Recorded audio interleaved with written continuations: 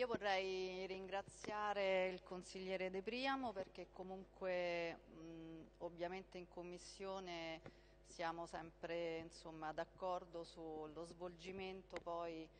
ehm, degli argomenti che portiamo avanti, così come devo dire anche col resto della commissione e, e con eh, il, il resto dell'opposizione, chiedo scusa.